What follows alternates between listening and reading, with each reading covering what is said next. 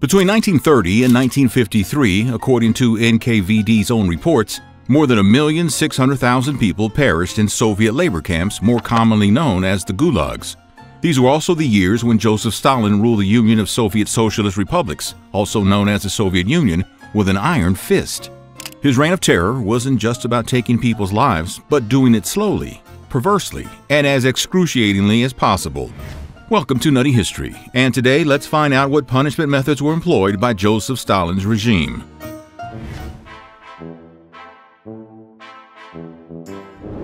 The Gulag was first established in 1919, and by 1921 the system had 84 camps. But it wasn't until Stalin's rule that the prison population reached significant numbers.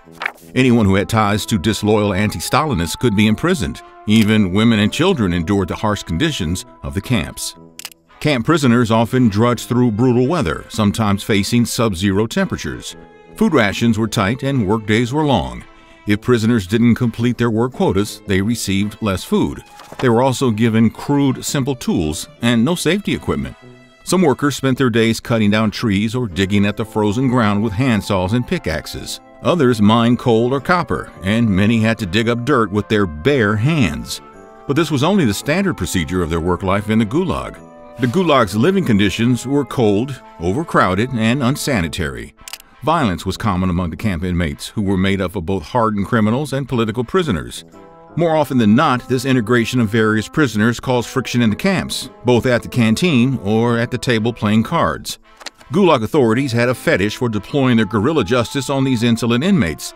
Such prisoners were stripped down and dragged out in the snow with their limbs bound together so they could only crawl like a caterpillar to die a slow pain from hypothermia.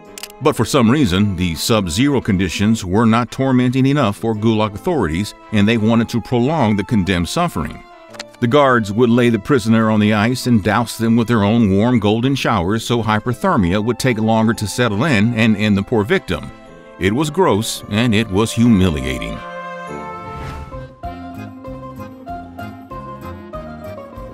What happened behind the closed walls of the Gulag usually stayed secret within the Gulag, but long after the gulags became a thing of the past, some unfortunate souls who were part of the ordeal and survived to tell the tale dared to recall the atrocities. Danzig Baldaev, a retired Soviet prison guard, shed light on the dark secrets of exploitations in the Gulag in his book Drawings from the Gulag. The most chilling account was about the double standards of the Soviet Code of Humanism. While NKVD was known for their sadistic approach and playing the parts of judge, jury, and executioner, they would deliver their own brand of punishment by beating, public humiliation, extortion, etc., all of which violate the sanctity of humanity. And ironically, they had a Soviet law of humanism.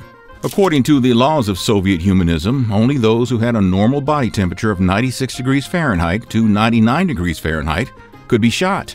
So, the only time Gulag guards would grow a conscience and treat a prisoner humanely was when they needed them to be fit enough to be shot down by the firing squad. It was no different than feeding a turkey before slaughtering it on Thanksgiving Day.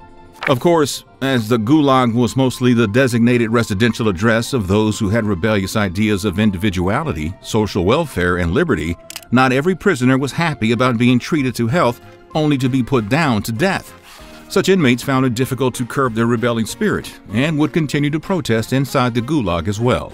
For example, the hunger strike was a popular method of protest among such prisoners whose health would deteriorate, making themselves hard pills to swallow for the Gulag authorities. To break their hunger strike, Gulag authorities would often resort to using excessive force.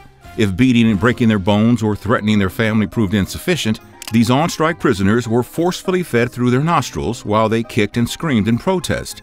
The feeding was just enough to bring their vitals back to normal, making them eligible for punishment.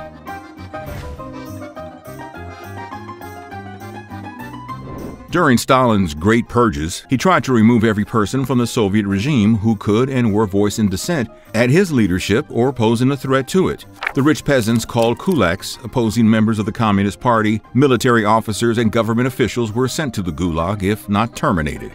Even educated people and ordinary citizens like doctors, writers, intellects, students, artists, and scientists were designated the same fate by Stalin's regime to either die quickly on the spot or live an excruciating life in the Gulag. Within a short span of two years, some 750,000 people were executed on the spot. One million more were sent to the gulags. Soviet intelligence agencies had their own process of trying these suspected counter revolutionaries and anti Soviet activists. The judgment was passed first, then they were arrested, followed by the punishment, and then they were tried after making sure the victim had broken down to make a confession. NKVD staff used brutal punishment where victims were stripped of their bottoms and forced to sit down with their bare rear on top of a heated bucket full of rats, trying to escape.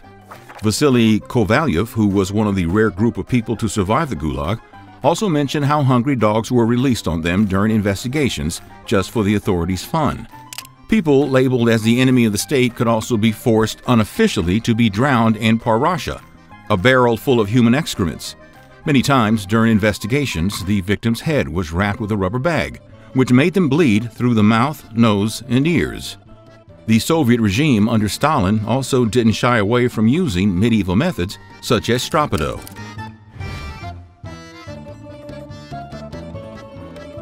Women prisoners of the gulags were stripped down during their checkup following their arrival at the gulag so authorities could have a good look at them. Those women who were chosen by authorities as their personal slaves were offered less harsh labor work if they agreed to oblige to the demands and whims of the authority that approached them. It was also mandatory to have women stripped during interrogation to inflict psychological trauma as authorities would humiliate and degrade them.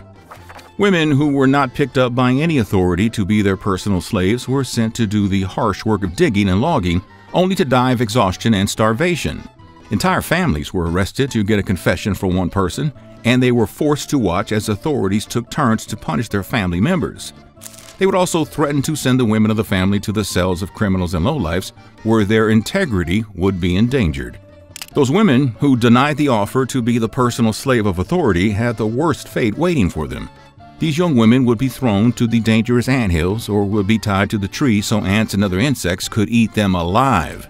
They were also bound in compromising positions for additional humiliation. The grossest part of this tragedy is that it was often female authorities that would carry out this punishment.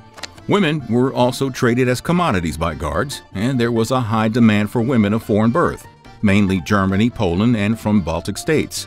The customers were the criminal kingpins who were treated better in the gulags than the enemy of the state political prisoners. It was common for such kingpin criminals to own two to three women.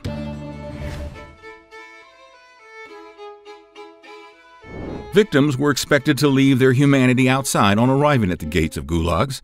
The new arrivals were dressed as septics and were watered down with a fire hose from the guard tower. Now, mind you, the temperature would be around minus 30 degrees to minus 40 degrees Celsius. The water would freeze on the bodies of fresh prisoners. Then they were forced to wait a long time before they would be admitted inside. In the forced labor camps, conditions were brutal. Prisoners were barely fed, Stories even came out saying the inmates had been caught hunting rats and wild dogs, snagging any living thing they could find for something to eat. Vasily Kovalyov was trapped in mines in the Russian Arctic as guards blocked all the entrances with grills. Kovalyov and other miners had to spend five months underground with food that only lasted three months, and they had to survive the rest of the days chewing wood shavings. Sleep deprivation was quite popular among all gulags, and cells at certain prisons were constructed with sloped floors. Guards could fill them with ice water whenever the prisoners would fall asleep to keep them awake. They would also prohibit prisoners from sitting down and were forced to walk up and down the cell to keep them from sleeping. Many prisoners would take a step, fall asleep, take another, and lose their balance, awaken and catch themselves and turn around to repeat the process. According to inmates who survived the ordeal and were released after Stalin's death by his successor, Nikita Khrushchev, there were a total of 52 kinds of punishment methods and devices implemented by the authorities at gulags. From Sukhanovka Swallow to Taylor Boilers, these prisons were pits of incessant punishment. We would hope for these punishments to have been forgotten, but the rival counterpart of NKVD picked up most of these methods and introduced them in the West where they became standard procedure for intelligence punishments in the following decades. Tell us in the comments, what other period would you like us to cover in this series? And, as always, thanks for watching Nutty History.